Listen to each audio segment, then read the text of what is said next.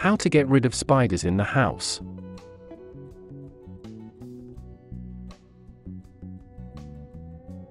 Most spiders prefer living outdoors, but all too often, you may run across a few spiders that have found their way indoors in search of food or shelter.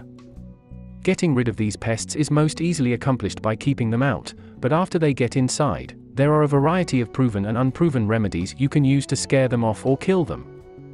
This video will offer a few common pest control methods to use against spiders the next time they infest your house.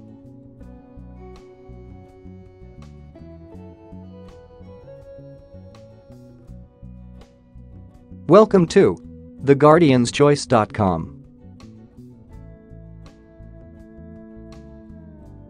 This video will tell you how to keep spiders out of your home, verified pest control methods, and folk remedies. So keep watching, get your solution, and enjoy! Method 1 Keep spiders out of your home. Number 1 Seal up your home. Patch up cracks and holes leading from the outside in to prevent spiders from finding their way indoors. Use caulk to fill in large gaps of space in closed doors and windows. Also apply caulk around wires, cables, faucets, and electrical components, since all of these must run to the outside. Replace or fix torn window screens. Spiders can easily find their way in through even the smallest holes. Cover your vents and chimney with fine mesh insect screens. Number 2. Keep your outdoor lights off. While outdoor lights will not attract spiders, they will attract other pests that can serve as appetizing food sources for spiders. On a similar note, block indoor lights from shining through your windows by using opaque blinds or shades. Consider switching to yellow sodium vapor lights. These are less appealing to insects and less likely to draw in a food source for your spiders. In low numbers, non-aggressive spiders can actually be beneficial because they catch biting, damaging insects in their webs. Number 3. Remove vegetation away from the perimeter of your house. If you have a serious spider problem, consider transplanting shrubs, trees, ivy, and other plants from the perimeter of your house to the opposite side of the yard. Vegetation attracts spiders because it serves as an ample hiding spot. When spiders need to seek out warmth or new food sources, they crawl from the vegetation toward your home, getting in through cracks.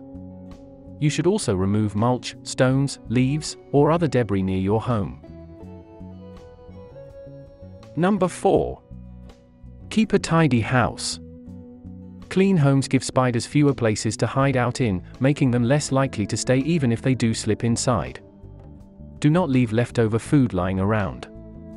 Food crumbs will attract other pests like ants, which, in turn, will attract spiders. Regularly sweep and vacuum your floors. Wipe down your counters and tables, and avoid letting your dirty dishes sit out for more than a few hours. Pick up as much clutter as possible. Old newspapers and piles of dirty clothes make the ideal hiding place for spider species that thrive in darkness. Use plastic storage containers.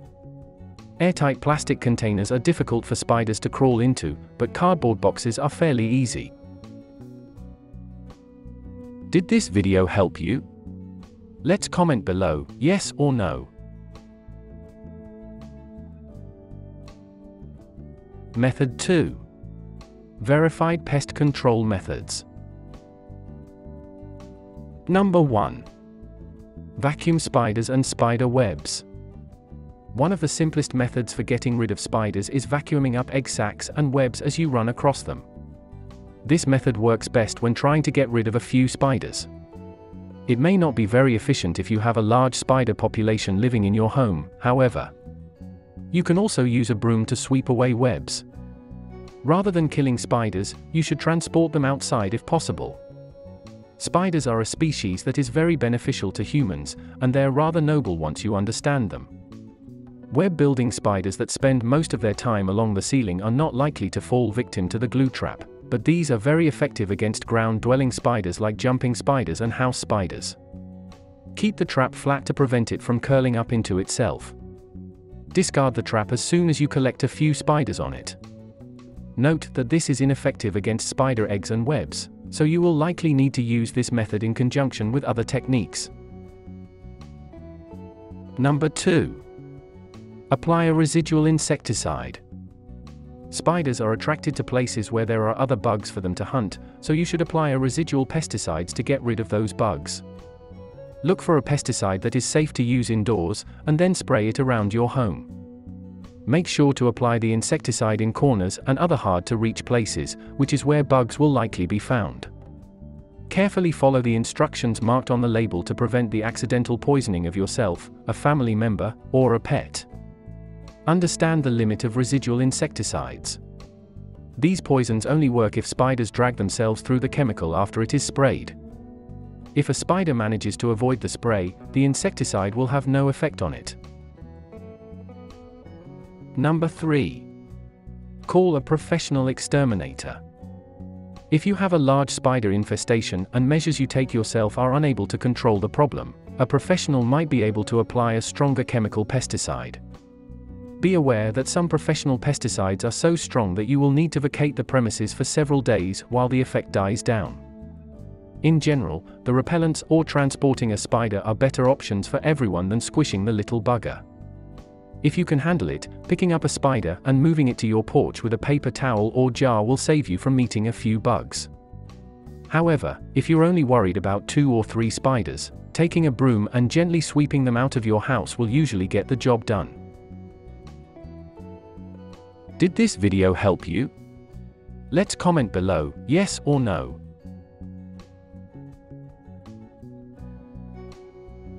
Method 3 Folk remedies.